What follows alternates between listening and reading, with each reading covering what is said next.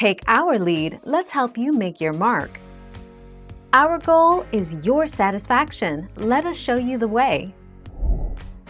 So let's get one thing straight, microwaves do emit radiation, technically speaking, but it's not the DNA-damaging radiation we're used to hearing about.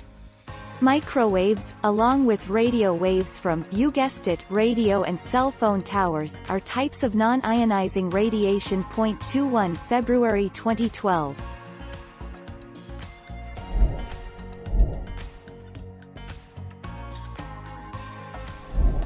Make your mark, take our lead.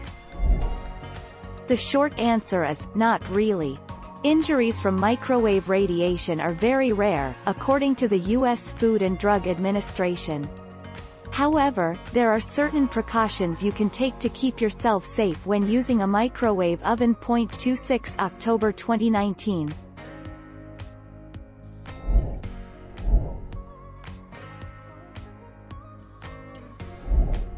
Take our lead.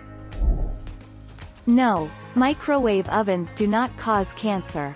There is no established research that proves a link between the use of microwave ovens and development of cancer. Electromagnetic energy, which is similar to radio waves, from microwaves heat up the water molecules from food.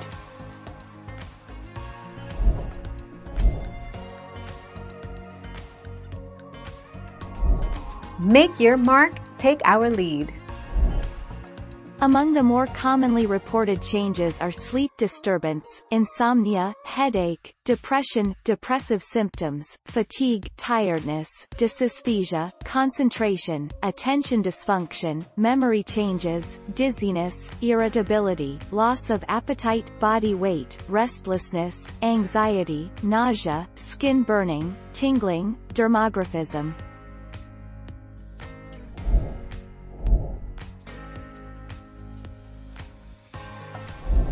Let's help you make your mark.